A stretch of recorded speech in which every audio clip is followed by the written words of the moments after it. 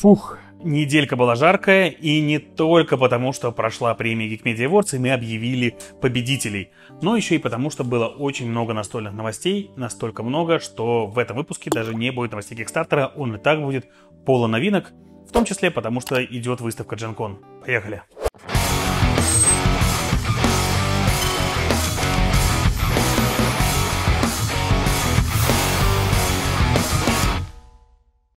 Всем привет, с вами Юра, вы смотрите Media, и сегодня вас ждет очередной еженедельный выпуск новостей, который мы начнем прямо с зарубежных новинок. Есть такая компания, называется она Game Trace, и это как наши Meeple House, только зарубежная. И вот они решили стать издателем настольных игр, и в следующем году у них на Kickstarter выйдет первая настольная игра, называется она Forsaken.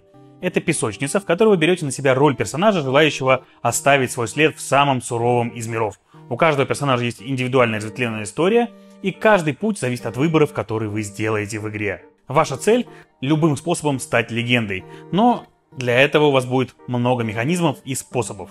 Вы будете проходить различные персональные и общие сюжетные цели. Будете подрабатывать, будете охотиться головами, будете исполнять пророчества и даже играть в азартные игры в таверне и контине. Все это может продвинуть вас по пути к становлению легендой. Вы будете развивать и прокачивать своего персонажа и его снаряжение, а также менять игровой мир, и играть в эту игру могут сразу от 1 до 4 человек. Сейчас в Индианаполисе проходит выставка GenCon, и это самый крупный американский игровой конвент, и с нее достаточно много новостей. Очень хорошая новость в том, что карточная игра по Властелину колец от Fantasy Flight Games получит перерождение. И это будет не просто переиздание самой игры, в игре также появятся новые карты и новые механики, а также будет облегчен порог вхождения. Еще Fantasy Flight Games обмолвились о том, что команда, которая работала над ужасом Аркама, Андроидом и Сумерками Империи, разрабатывает новую игру с механикой наследия. Это будет первая такая игра издательства, так что будем ждать новостей. Игра Viral, на русском языке, которую совместно издавали Фабрика игр и Лавка игр, и называется она в русской версии Вирус, получила дополнение, которое называется The Hive. В нем игрокам добавили асимметрии в виде стартового улья, из которого вы будете распространять свою заразу по организму человека. Прошло уже целых два года с тех пор, как вышла на прилавке магазинов игра от Fantasy Flight Games э, «Внешнее кольцо». И вот к ней анонсировали дополнение, называется она будет «Незаконченное дело» или «Unfinished Business». Больше подробностей пока нет. Тема покорения Марса не оставляет умы разработчиков настольных игр, и в скором времени в продаже появится настольная игра Ruins of Mars, в которой, манипулируя тайлами и перемещаясь из локации в локацию, вы будете пытаться расшифровать язык, оставшийся на обломках цивилизации, когда-то колонизирующей Красную планету. Для Marvel Champions выйдет новое большое дополнение, посвященное Spider-Verse. А Человек-паук у нас где? Тут. Нас в нем ждут новые злодеи, новые герои, такие как Майлз Моралес и Спайдер-Гвен. Скоро на прилавках магазинов появится игра «Картонное дерево», в которой больше, чем в самом Эверделе. Называется она Wonder Book. И построена эта игра по принципу книги, из которой при открытии страницы у вас появляется такая объемная картонная конструкция или фигура. Wonder Book — это кооперативная игра, состоящая из шести последовательных сценариев, каждый со своими особыми правилами. Игроки играют тинейджерами и будут бороться там со всякой нечистью.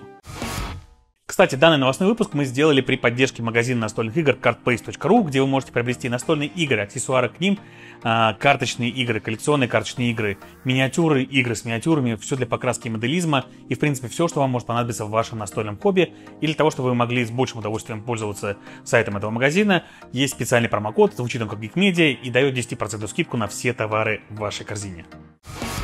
А с новостями предстоящего Эссена вас познакомит Сергей. Серега, тебе слово. И всем привет!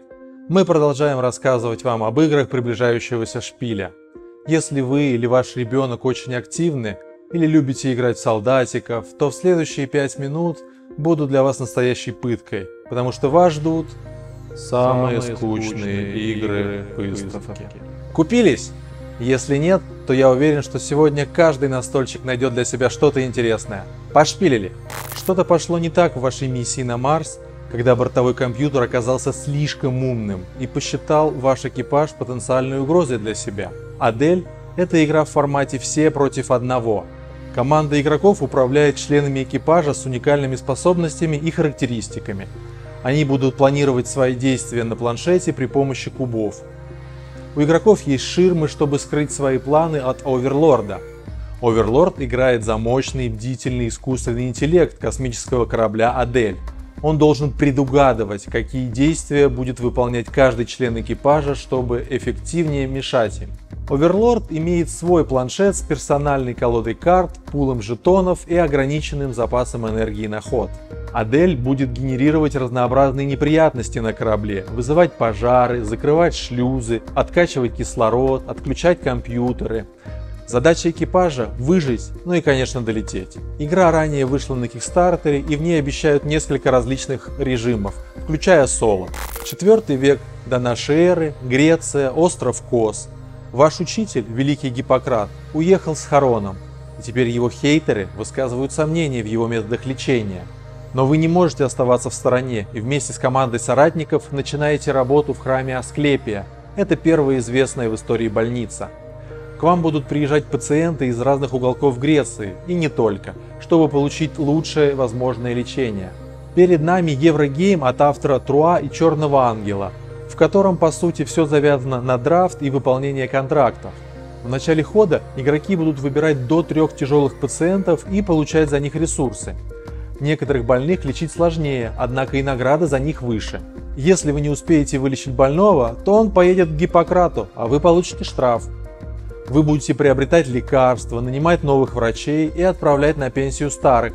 Чем больше у вас врачей, тем шире ваши возможности по лечению, но все врачи требуют плату. После пятого хода игрок с самой высокой репутацией станет победителем. Mythalix – это стратегическая игра, в которой древнегреческие боги и титаны сталкиваются в новом мире. Цель каждого бога – это подчинить себе четыре стихии, либо победить всех оппонентов. У каждого игрока будет планшет, на котором он отслеживает бонусы атаки, защиты и перемещения, а также подчиненные стихии. Покупка карт армии и воинов увеличивает возможности бога, а карта Сила Олимпа дает доступ к уникальным спецспособностям.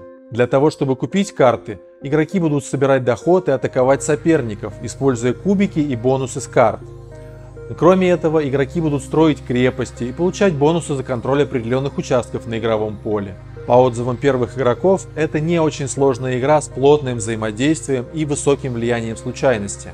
Она тоже вышла на Кикстартере, и здесь вместо привычных миниатюр используются акриловые цветные стендики с персонажами. Настольщики со стажем могут вспомнить небольшую коробку игры Сабек от Бруно Каталы. В ней игроки собирали наборы товаров для выгодной перепродажи, не брезгуя коррупционными схемами. Однако лидер по коррупции получал огромные штрафы за свою жадность. В этом году на выставке покажут версию игры для двух игроков. Цели и антураж игры не изменились. Это все тот же Древний Египет, храм богу Сабеку, охота за товарами и проверка жадности игроков. Но теперь получение товаров завязано на рынок размером 6 на 6 клеток. В свой ход игрок может взять тайл на рынке, продать набор товаров или разыграть карту персонажа. Игроку доступны тайлы на одной линии с фигурой на рынке. Чем дальше игроку нужно пройти за тайлом, тем больше коррупции он получит. Однако таким образом он ограничивает выбор тайлов для второго игрока. Судя по отзывам, взаимодействие немного напоминает дуэльные 7 чудес, когда игрок постоянно стоит перед выбором – сделать лучше себе или лишить чего-то полезного оппонента. Настольная игра по книге выходит в один год с фильмом. И это я не о Дюне. Компания Ares выпустит настольную игру начинающего геймдизайнера по культовому итальянскому комиксу. Серия комиксов Diabolik создана в начале 60-х годов и состоит более чем из 800 томов. А в этом году кинозрители смогут увидеть фильм про главного героя. Диаболик – это безжалостный и жестокий вор, готовый на все. Ему помогает его партнер и любовница Ева Кант, а по его следам идет инспектор Гинко.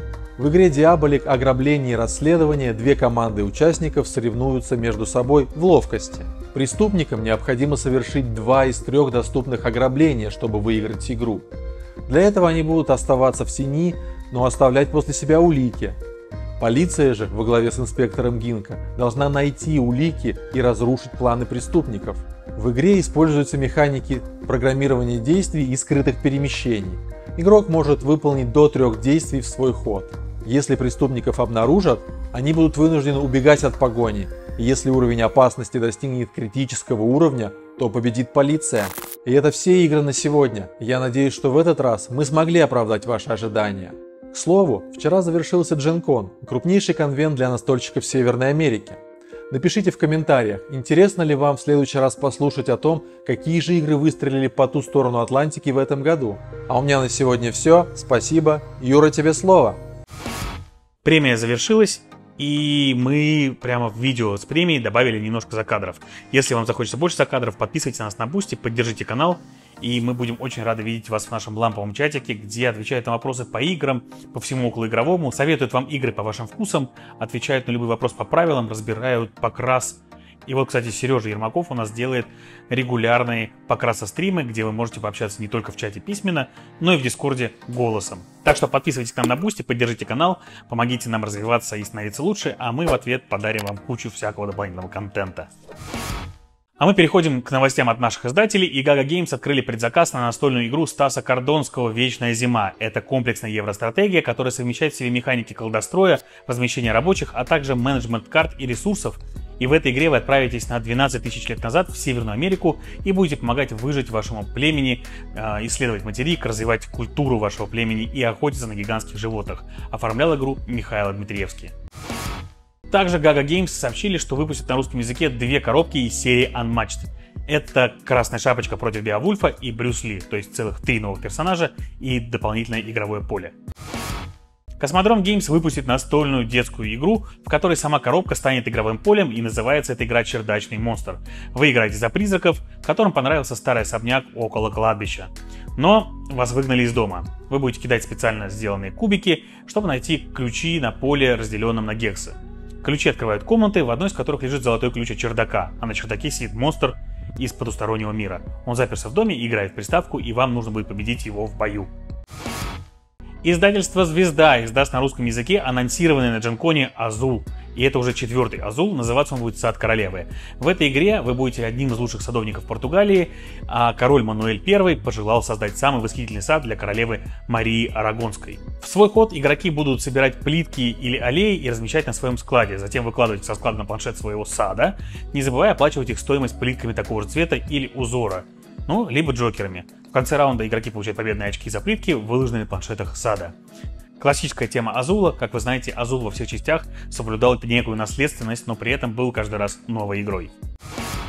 Издательство Чучу Games открыло предзаказ на настольную игру «Париж» Вольфганга Крамера и Михаэля Кислинга. Обзор на эту игру вы уже можете посмотреть у нас на канале.